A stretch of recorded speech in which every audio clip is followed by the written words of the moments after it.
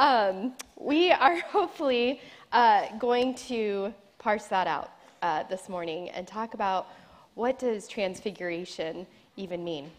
We're about to start a sermon series for Lent um, that's going to be questions Jesus asked. If you remember in the fall leading up to Advent, we were talking about questions we, the people, the congregation, had.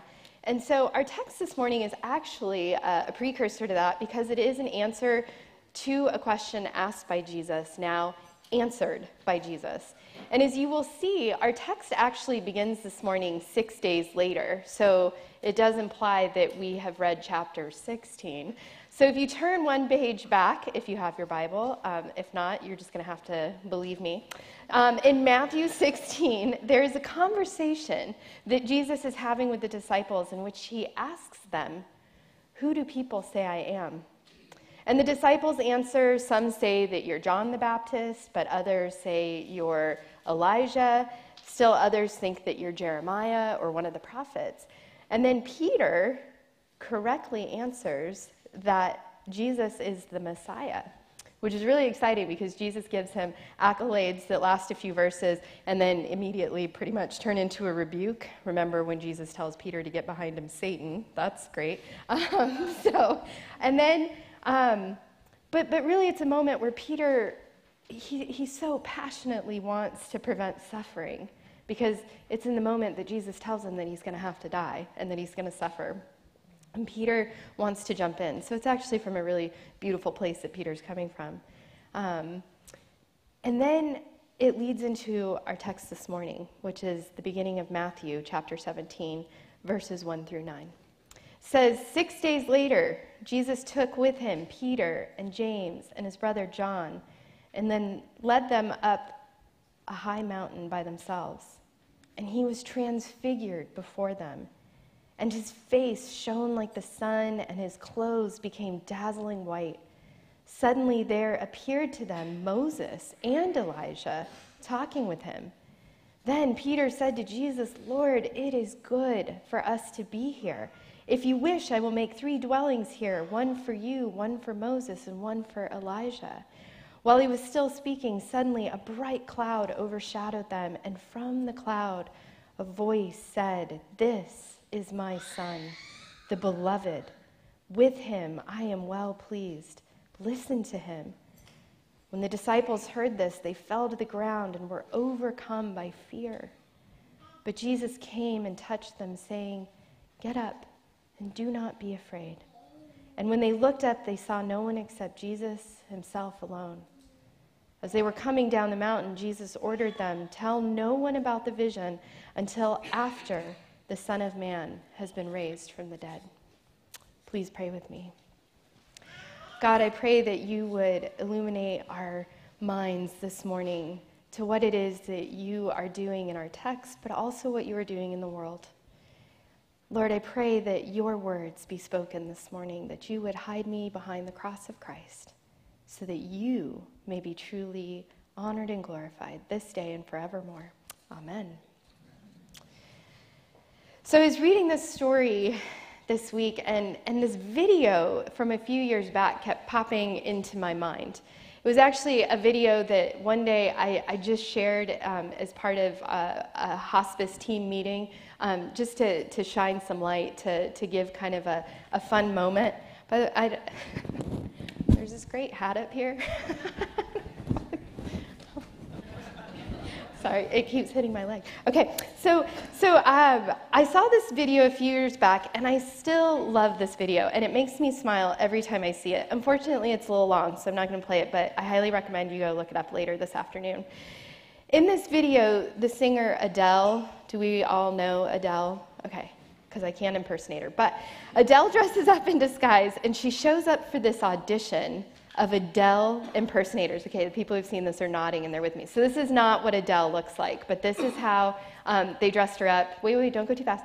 They go back to the first one because um, if if you know Adele, she has like a bump in her chin, so they put on a fake prosthetic chin, and she, that's a fake nose. So, and they redid her hair and, and all this. And she comes in the video and she's talking and she, she says, You know, I usually talk like this. And so she lowers her voice and she starts talking very slowly. So it is actually hard, to, a little tricky to tell that it's her. Okay, so now you can go to slide two. So she shows up and um, she's standing backstage. So she's um, in the far corner um, of this picture. And she's standing among um, these other singers, and they're talking about their gigs that they have as, as pretending to be Adele. And um, she, they're actually complaining that um, it's taken her so long to release the second CD, and she's like, "Oh, I know. like, there's just the same songs over and over again." Um, there were four years in between the albums, um, between her debut and then her follow-up, and then there's even this male impersonator who is singing, and one of the other Adele's remarks to Adele, she says, "Gosh, I think Adele would really like him," and Adele is kind of getting choked up, and she's like, "I do too. I think Adele would really like him." Um, and then the moment arrives. Adele is the last one to go out and audition. And, and, she's been pretending to be really nervous backstage. And so all of these other Adele impersonators, they're just with her. They just want her to get out there and do okay. like they, they really don't have much expectation for it. And so all of a sudden, Adele probably sings one note. And a couple of the impersonators, like, they just turn to shock because well, first you think, well, is it just because they're so impressed that she's so good? So go ahead, Kyle, next picture. This is, that's, that's the male impersonator who's like, what? and then Adele starts saying, and, and I mean, her voice is just so powerful and beautiful. And she kicks off her shoes, which is like her signature thing that she does at her, her concert. And you see the faces of these people just light up and they're so excited and they get it and, and just i love like that's her face the most. She's like that's her. And um, by the end of this video all of the impersonators are singing with adele. And you just get this incredible moment of these people who love someone so much realizing that they have been not only in her presence but they get to sing with her and afterwards you see her interacting with them. And it's so special. And it, it does just really create this joy. So I invite you to go and watch it. And I, and I thought of this video, I think, because I was trying to, to put into words that joy, that knowledge, that dawning awareness that that small group of disciples must have had when all of a sudden Jesus is the, the Greek word for transfiguration is metamorphosis. He, he literally physically changes in front of them and becomes so bright. And then all of a sudden, we, we have Moses and Elijah are there. I mean, the great spiritual heroes are, are standing with Jesus Christ. All of a sudden, everything comes into clarity. They know that Jesus is special. In, in Matthew, we're already 17 chapters in. They've seen miracles of healing, of multiplying, of scarce resources. We know from chapter 16 that pre- Peter professes that Jesus is the Messiah. He already has this recognition, but now they know. And they see it with their own eyes Jesus shining brightly. And then they, they hear this, this voice that, that comes and tells them this is what is going to be next. I also think of this story because it talks about Jesus shining. And, and um, a few years ago, uh, Shane Claiborne, he came out with this great book called The Irresistible Revol- Revolution. And it was a story about how he sort of became who he is. So, so Shane and a couple of his friends, for I think about the last 20 years now, have lived together in um, the ghetto in, in Pittsburgh, and they're just a house of welcome. They take seriously the words of Jesus, and so they live together. Um, their community, everybody kind of does something different. They do lots of community gardening. They look out for the kids in the neighborhood. They do tutoring after school. Their whole philosophy is if somebody has a need, they can come and knock on our door, and we'll do what we can.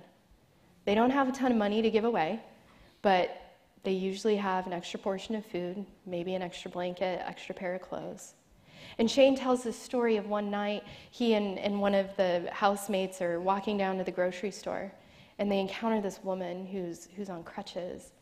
And, and she makes an inappropriate offer to Shane to try and get a few bucks. And he says no. And, and they go to the store and they buy this bread and, and they walk back past her and they get home and they realize there's a hole in the bag of the bread. And so it's molded. So they have to walk back. And so on the second walk back, they realize we can't just leave this woman shivering in the cold. And so they invite her to come back to their home.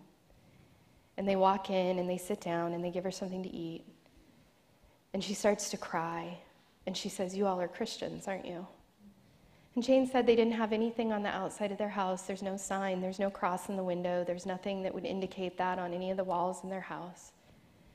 And his friend says, Well, how do you know that? And she says, Because you all shine. There's something about you that, that you reflect the, the love and the beauty of Christ. And she starts to cry and she tells them that she too once shined, but she has fallen on some really hard times. She's made some bad decisions. So they pray for her. And they love her and they she decides to, to leave their presence. And, and Shane says that a few weeks later, this knock comes on their door, and, and there's this woman standing there, and he has this moment of recognition that, like, and he tries to sort of play it off as, like, hey, you, you know, kind of, how are you? And she's like, you don't recognize me. And he has to confess that he doesn't. And she says, You don't recognize me because I got my shine back. And she wanted to come by and express some sort of gratitude for, for the presence, for the, the small role that they played in her. And um, it's actually really hilarious because she, um, she tells him, you know, I used to be a smoker. And, and she said, I don't have much because I lost most everything that I had. But the one thing that I do have is I used to collect um, Marlboro miles or something. I, I, think it was something on the cigarette packet. And so she cut off all these Marlboro miles and she had them in this box. And she's like, like this is all I have to give you. And so he takes it as, and he said that like they're actually markers in his Bible and he really likes when he goes to churches and he starts preaching. Pastors are like, what? But but to him it's it's this reminder to to keep the, the shine in his life. The reminder that, that God still is at work and, and the glory of God matters in this world. So apparently, she heard that he was telling this story and he was preaching, and she wrote him a letter. And she was like, I'm so glad to know that I am a resurrection story that you continue to tell. I got my shine back. I love those words. And so, back in our text, every part of history is summed up in Moses' presence at the Transfiguration. The fact that Moses is standing there points to the reality that everything that God has said from the beginning has now come in Jesus Christ in the physical form. And Elijah's there. So Elijah stands in for all of the prophets, all of the ones who were speaking of this coming king, of this Jesus Christ. Elijah is now saying, It's here. It's all come together. And if there is any doubt, suddenly the cloud descends. And what do we know from, from the history of Scripture? That's how the presence of God is represented. And so this voice affirms, This is my son, the beloved. With him I am well pleased. If those words are familiar, we heard them at Jesus' baptism.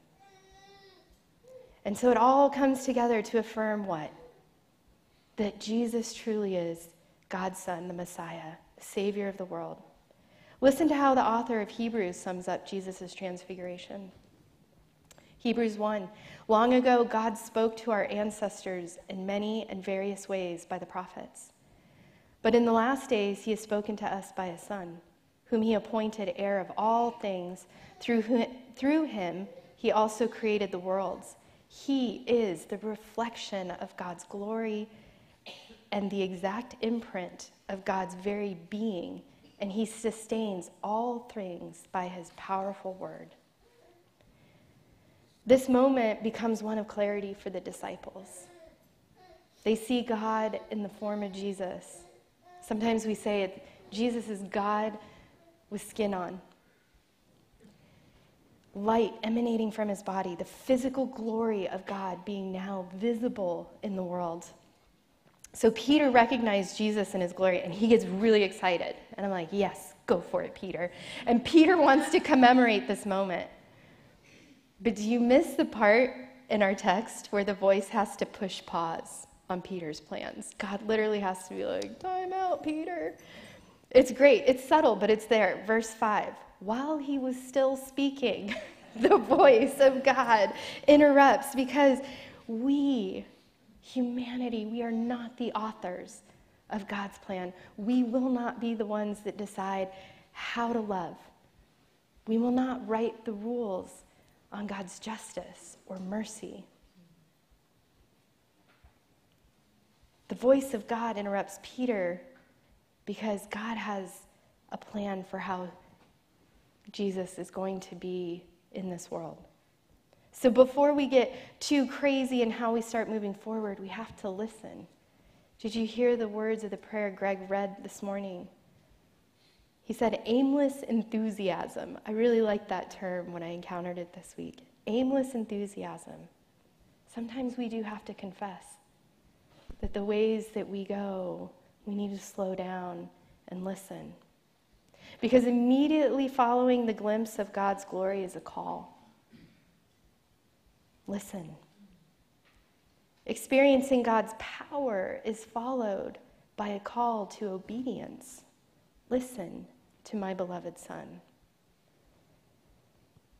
So then it begs the question friends, are we listening? We need to contemplate are we listening to God's voice? Not listening for, to. God has been talking a really long time if we're willing to hear it. You can flip back to every page to Genesis 1 and hear what God is saying for creation, for humanity. Listening is an action.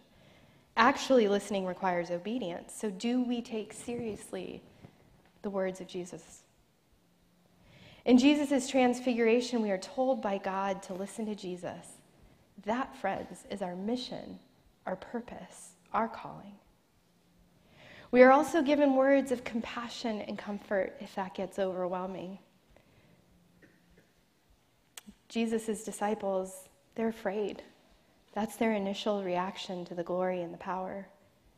Fear of God is not the point. Jesus Christ is with us and for us, inviting us into the work to bring God's kingdom come. Our job is to alert everyone of God's universal reign through Christ. Wherever we are, be it in school, our neighborhoods, our workplaces, our homes, even the grocery store, Starbucks, wherever we are, our actions and our words should be a reflection of Jesus Christ.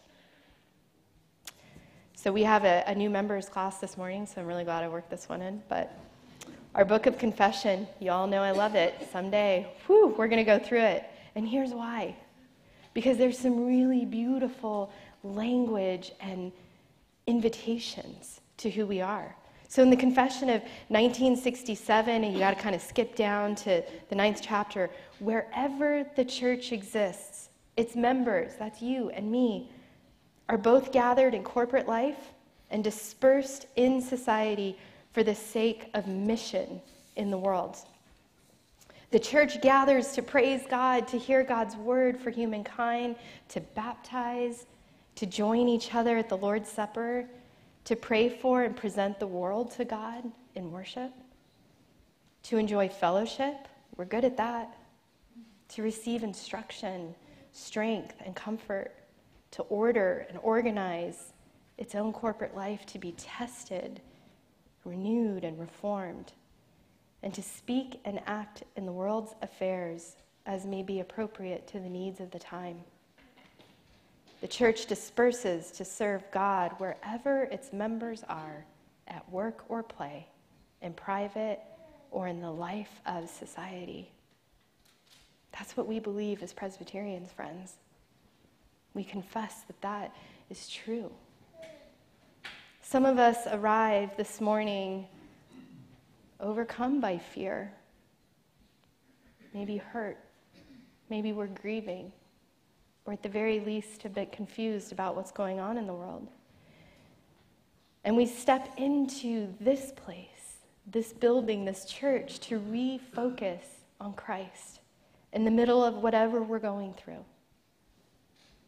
I hope when you walk through those doors into this community that you encounter the glory of God. Maybe a lyric in a song inspires you. The beauty of the stained glass reminds you of the beauty of creation all around you in this world. Or perhaps it's during the words spoken during prayers, maybe a sermon that spark a little hope. God's kingdom, it's coming. It's active, it's seeping into the, the words of Christ. I hope no matter how you came in those doors this morning, that you leave and walk out them a little restored, refilled, refueled, and feeling loved. Because that is the point. May we be transfigured ourselves. May we reflect that same light and love and glory that we see in the face of Christ. Please pray with me. God, we're thankful that you